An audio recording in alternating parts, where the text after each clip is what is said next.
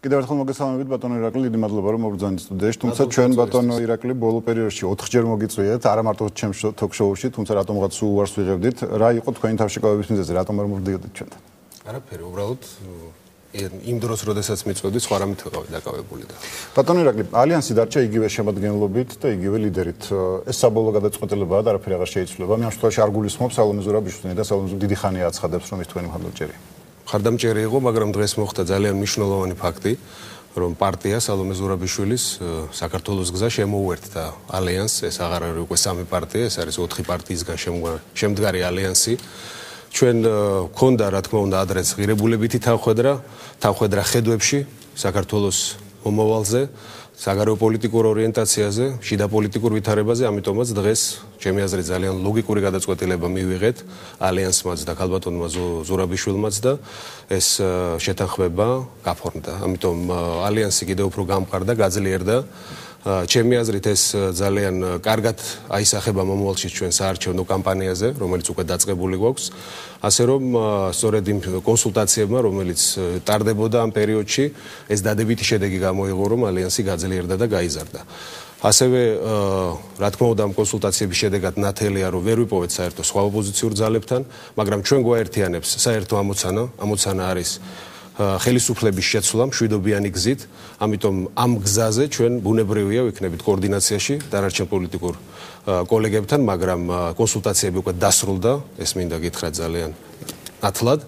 ჩვენ ჩვენი გზით ვაპირებთ ხელისუფლების დამარცხებას არჩევნებზე, გვაქვს საკმაოდ სერიოზული მხარდაჭერა საზოგადოებრივი ორგანიზაციებისგან, სამოქალაქო ორგანიზაციებისგან და რაც მთავარია, ყოველდღიურ შეხვედრებში საზოგადოებასთან ჩვენ გვგრძნობთ ამ მხარდაჭერას. ძალიან დიდი ცვლილების მოლოდინია საზოგადოებაში, არის შიშიც ასევე, იმიტომ რომ ბოლო პერიოდში განსაკუთრებით გააქტიურდა ხელისუფლების ნაციონალური მოძრაობის მხარდამჭერები, მათ შორის პოლიციის და უსაფრთხოების სამსახურები ჩვენ აქტივისტებზე მიდის ზეწოლა, მაგრამ ეს კიდევ უფრო მეტ შინაგან მუხტს გვაძლევს რომ ვიბრძოლოთ ამ არჩევნებისთვის.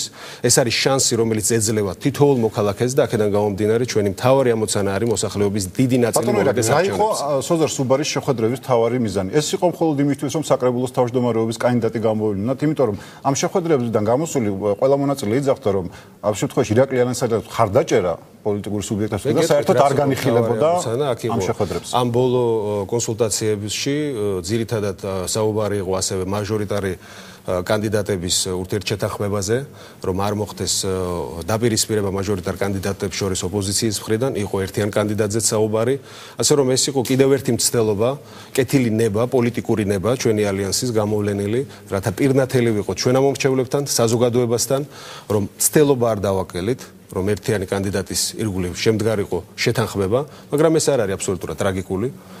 მოქალაქეებს საზოგადოებას უნდა კონდეს არჩევანის შესაძლებლობა. მათ შორის ოპოზიციაშიც. ჩემთვის მთავარი ამოცანა დღეს არის ვილაპარაკოთ იმ პრობლემებზე, რომელიც ქვეყანაში დაგროვდა. რამ განაპირობა დღეს საქართველოს, რომ შევიდა ესეთ ღრმა პოლიტიკურ კრიზისში? ეს არის ეს აინტერესებს საზოგადოებას, როცა ვილაპარაკებით. რატო არის ესეთი ეკონომიკური მდგომარეობა? ეს გაუთა გაუთვლელი წინ დაუხედავი ნაბიჯები პოლიტიკური, რომელსაც ხელისუფლება დგამს. სააკაშვილის და უგულავას ხელისუფლება. მე პირდაპირ მინდა გითხრათ, გახდა ძირითადი მიზეზი სწორედ რომ დღეს საქართველოში არც ერთი პიროვნება, არც ერთი ადამიანი დაცულად ვერ გზნობს თავს. არც სოციალურად, არც პოლიტიკურად და უსაფრთხოების კუთხითაც. ეს არის ძირითადი პრობლემა დღეს, რომელიც უდგას ქვეყანას წინ. აქედან გამომდინარე, ჩვენ დგავართ ძალიან კაფიოთ ერთადერთ გზაზე. ეს არის არჩევნების გზით, მშვიდობიანი გზით ხელისუფლების შეცვლა. და ეს შანსი ყველა ჩვენთაგანმა დღეს უნდა გამოვიყენოთ. თქვენ მანამდე საუბრობდით რომ დაწყებული გაქვთ საერთაშორისო კამპანია თორემ თუმცა სუზასუბარო მაინც დაიწყო კონსულტაციები სხვა პოლიტიკურ ძალებთან. ეს ხომ არ იყო თავიდანვე ჩაშლილი მოლაპარაკებები? ცდელობა ყოველთვის აუცილებელია რომ აწარმოო. ჩემი აზრით კიდევ ერთხელ ვიმეორებ რომ ეს იყო კიდევ ერთი კეთილინების პოლიტიკური ნაბიჯი. მე დღეს უკვე პირდაპირ შემიძლია ვთქვა რომ ლაპარაკობთ უკვე საზოგადოებასთან საზოგადოების მხარდაჭერა ჭირდება სწორედ რომ გამომართოთ კონსულტაციებს იწყებდით ხო არ იყო ამ შემთხვევაში ხო არ შეგაშინათ თქვენმა რეიტინგებმა რომელიც დღეს გააჩნია კონსულტაციებს ადრეც ვატარებდით ეხლაც ჩავატარეთ ამაში არაფერს. წინააღმდეგობრივ ჩვენ კამპანიასთან ვერ ხედავ პირიქით.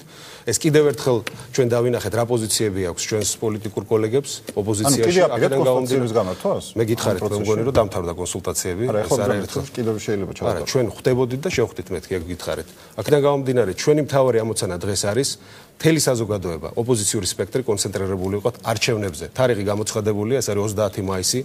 სწორედ ამ დღეს ჩვენ უნდა დავიწყოთ ხელისუფლების შეცვლა. ხელისუფლების შეცვლა ადგილობრივ დონეზე და შემდეგ ცენტრალურ ხელისუფლების. აქედან გამომდინარე, თავარი ჩემი საზრუნავი დღეს არის რას მელაპარაკება ჩემი მომრჩეველი, საზოგადოება, ყოველ დღე გვაქვს შეხვედრები სოციალურ საკითხებთან ერთად. ძირითადი პრობლემა ჩვენი საზოგადოების არის, რომ ის თulis თავს დაუცველად დაუცველად იმიტომ რომ ის რაც მოხდა თუნდაც 13 მარტს იმედის ეთერით ეს კიდევ ერთი დემონსტრირება იყო იმის თუ რა უსამართლო და ცინიკურად ეპყრობა ხელისუფლება საკუთარ ხალხს ეს უნდობლობა, რომელსაც ხელისუფლება იჩენს საკუთარი ხალხის მიმართ, უბრუნდება ასევე უნდობლობით. საზოგადოებაში ძალიან დიდი მოთხოვნა ცვლილებების, მაგრამ შვიდობიანი ცვლილებების. სწორედ არჩევნები, რომელიც დანიშნული, ეს არის ის შანსი, რომელიც უნდა გამოვიყენოთ კიდევ ერთხელ მეორებ და ძალიან სერიოზულად მიმდინარეობს ხალხის დაშინება პოლიციური უსაფრთხოების სტრუქტურებისგან. თუმცა დაშინებული მოძრაობის აქტივისტებისგან აქედან გამომდინარე არ მიმდინარეობს. დღეს დღეს ისმოდა მუხარები რომ საქართველოს შეიძლება განმეორდეს ყირგიზეთის მოვლენა. ველაპარაკება. და ეს არ იყო ხელისუფლების მხრიდან გაკეთებული განცხადება. რასაც ველაპარაკება აღორჩეველი თითოეულ корпуსში, თითოეულ ოჯახში მიდიან და აშინებენ რომ არ გამოვიდნენ შეხვედრაზე ოპოზიციურ ლიდერებთან, არ მოისმინონ მათი პროგრამა. არ კონდეს შეხვედრები მასშტაბური ოპოზიციას მოსახლეობასთან, მაგრამ ეს არ მუშაობს. ამას ვიძახი. ამის თქმა მინდა რომ საზოგადოება იმდენად საზოგადოებაში იმდენად დიდია მოთხოვნა ცვლილებების, რომ ესეთი მეთოდები უკვე აღარ აღარ ამართლებს. გარდა ამისა, ძალიან კარგად ახსოვს ყველას, რა იყო წინა საარჩევნო დაპირებები ამ ხელისუფლების, როდესაც მოდიოდა არჩევნებით ხელისუფლებაში. არც ერთი დაპირება, რომელიც რეალურად სააკაშვილის ხელისუფლებამ შესთავაზა საზოგადოება შესრულებული არ არის. თუნდაც საგარეო პოლიტიკურ ფრონტზე იგივე ნატოსთან ინტეგრაციის პროცესი, რომელიც რეალურად გახანგრძლივდა და გადაიდო გაურკვეველი ვადით, იგივე ტერიტორიული მთლიანობის აღდგენის პრობლემა, რომელიც გადაჭრასაც სააკაშვილი და მისი ხელისუფლება პირდებოდა ჩვენს მოსახლეობას და ამ ხრივ კატასტროფულად შეიცვალა ვითარება 8 აგვისტოს ომის შემდეგ და ჩვენ კიდევ უფრო მეტი ტერიტორია დავგარგეთ და დღეს არის ოკუპირებული რუსეთის მიერ. ავიწყოთ დავიწყოთ სოციალური საკითხები, ჯანდაცვის სისტემა, რომლის რეფორმირება დაიწყო, კატასტროფული მდგომარეობაა. მე ვიტყვი რომ ეს არის რეალურად გვაქვს საქმე პასუხისმგებლობის არ ქონასთან საკუთარი მოსახლეობის მიმართ ხელისუფლების მხრიდან. საერთოდ გაქრა ეს პასუხისმგებლობა. ხელისუფლებას აქვს პასუხისმგებლობა ჯანდაცვაზე. ხელისუფლებას აქვს პასუხისმგებლობა ქვეყნის გარათლების სისტემის ორგანიზებაზე. არც ერთი პროექტი, რომელიც დაიწყო, განხორციელებული არ არის. პირიქით, დღეს მე ვიცი, მოსახლეობის 80% ჯანდაცვის გარეშეა. იგივე დაპირებები, საპენსიო დაპირებები, რომელიც 100 დოლარი უნდა გამختارიყო თითოეული პენსიონერის პენსიის ოდენობა. ესენი ყველანი არიან შეუსრულო. ეს ყველა პრობლემა არის გადაუჭრელი. სწორედ ამას ვთავაზობ ჩვენს, ჩვენ საზოგადოებას, რომ ცვლილება, რომელიც უნდა განხორციელდეს არჩევნების გზით, მოიტანს სწორედ რეალურ ცვლილებებს თვითონ პრობლემების გადაწყვეტილებას. ირაკლი აქტიურად რომ ჩაერთო წინასაარჩევნო კამპანიაში, იმიტომ რომ ძალიან ხშირად, როდესაც აი თქვენი მოწვევაც გვინდა სტუდიაში, საზღვარგარეთბრძანდებით ხოლმე და ხო არ არ გიშლით ეს ფაქტორი? მე საზღვარგარეთ დავდივარ საარჩევნო კამპანიაში. არავითარ შემთხვევაში საერთაშორისო თანამეგობრობა, მეგობრები პოლიტიკური და დიპლომატიური წრეებში, რომლებიც ყავს, ინფორმირებული უნდა იყვნენ ზუსტად რა ხდება საქართველოში. სწორედ ამას ემსახურება ჩემი ხალხი. რა ნახევარია დარჩენილი, ახლა ეს პერიოდი არის, როდესაც ძირითადად თბილისში ვიყავი. დიახ, მე ვიყავი ამას წინათ შეერთებულ შტატებში, სწორედ მოვინახული ჩემი კოლეგები, ძველი და დიპლომატიური და პოლიტიკური წრეებიდან არანაირად არ მიშეს ჩემს კამპანიაში ხელს ყოველდღიურად მე ვატარებ შეხვედრას მოსახლეობასთან, ზუსტად ვიცი რა პრობლემებია და ზუსტად ვიცი ეს პრობლემები როგორ უნდა გადავჭრათ.